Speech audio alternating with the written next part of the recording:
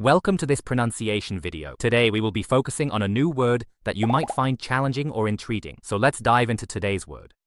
Mugitareuri, which means, Wheat resale in Japanese. let's say it all together. Mugitareuri. Mugitareuri. Mugitareuri. One more time. Mugitareuri. Mugitareuri.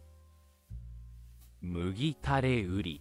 Thank you for joining us on this adventure in pronunciation. Remember, language is a journey, not a destination. Keep exploring, experimenting, and expanding your linguistic horizons. We'll see you next time.